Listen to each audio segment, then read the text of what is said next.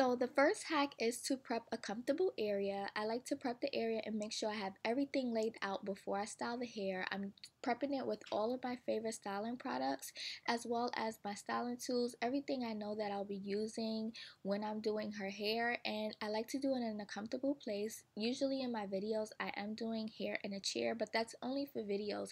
Most times we are doing it in the bed because this is her favorite place to get her hair done. So the next hack is to do it at a time that works best for you and your child. 7.30 on a Sunday night works best for me for this style in particular, which only took an hour. Which brings me to my next hack is knowing realistically how long your child can sit and get their hair done.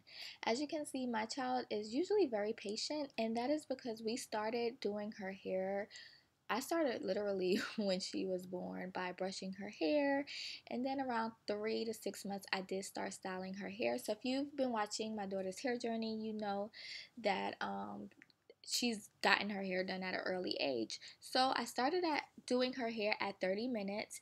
Now we can last about two and a half hours doing a hairstyle fuss free, but this takes a lot of time and a lot of training. So gradually work your way up to these type of styles.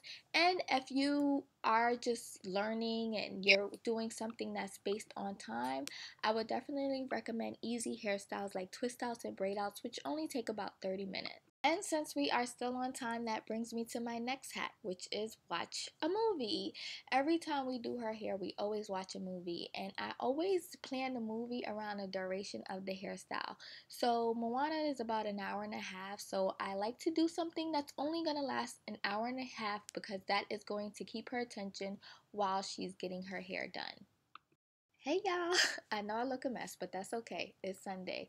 But that brings me to my next hack, which is uh, if you're like me and you've watched Moana over a hundred times, have something to entertain yourself while you are doing your child's hair. So I like to put on my headphones and I like to just watch YouTube videos while I'm doing her hair because this kind of keeps me entertained and she gets to enjoy watching her movie without having to hear what I'm doing.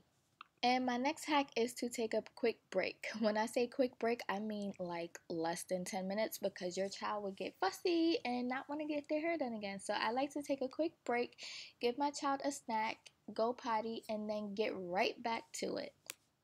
My next hack is to do hairstyles such as cornrows and braids, any hairstyle that requires you to do a lot of separating of the hair is to do it on stretched dried hair. So all the hacks that i told you about before um, do them the day before and then do the styling the next day so that you can break up the task and there's no tears. So I'm pretty sure you guys know this hack, which is never, ever, ever, ever, ever detangle on dry hair and always work from the ends to the roots. Here I am starting from the bottom and working my way up. Anytime I do her hair, I always always always make sure her hair is has moisture in it before a comb even touches her hair this will eliminate tears, this will eliminate fuss, and getting hair done can be very, very traumatizing if it hurts.